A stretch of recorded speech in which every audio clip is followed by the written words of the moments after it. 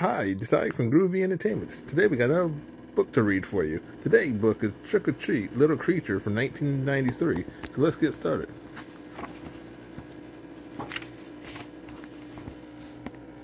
Halloween was coming. We had a lot to do to get ready. We went to the store to get our costumes and Halloween candy. There was Halloween decorations everywhere. We bought a glow-in-the-dark skeleton for our front door. There were lots of costumes. It was hard to choose. Dad picked out a creepy mask for himself. My baby brother didn't like the mask very much, so Dad chose a silly one instead. My sister and I picked out a bunny costume for our brother. Mom said, maybe next year. I tried on a cowboy costume, a green monster costume, and a private costume. I chose the private costume and a really cool bag for my candy.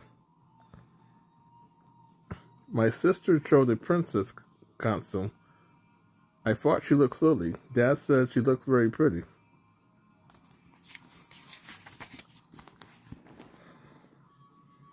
The next day, we went to the farm to get a pumpkin.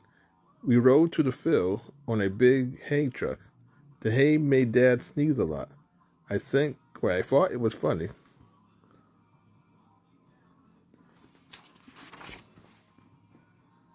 There were pumpkins everywhere in the fields. I found the perfect one. So did my sister. We had to draw straws. When we got home, we put the pumpkin on the table to make it into a jack-o'-lantern. But when Dad started cutting, my sister screamed, Don't hurt my pumpkin.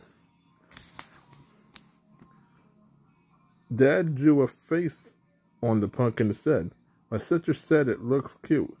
I said it looks dumb. On Halloween Day, we had a party at school. We made masks out of paper bags. For the Halloween party, we had orange cupcakes and roasted pumpkin seeds and orange punch. Our teacher made a real jack-o'-lantern. As soon as it got dark on Halloween night, my sister and I put on our costume. Dad put his mask on too. Dad took us trick or treating.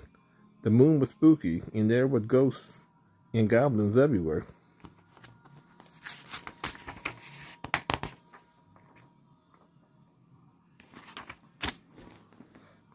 I saw a lot of my friends. There was some cool costume. One of my friends even had a costume just like mine. At the last house on our block, I noticed a hole in my candy. Right, I noticed a hole in my candy bag. Some of my some of my stuff had fallen out.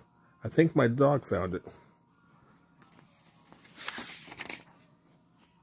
I started to cry. My sister said, I'll share some of my candy with you. When we got home, we dumped our, well, our candy on the floor and divided it up. Mom said I have never seen so much candy. If I'm really careful, I bet I can make my candy last all the way until next Halloween. Well, maybe. So that was Trick or Treat Little Critter for 1993. So if you like, subscribe, share, and comment, have a groovy day with another video coming out real soon.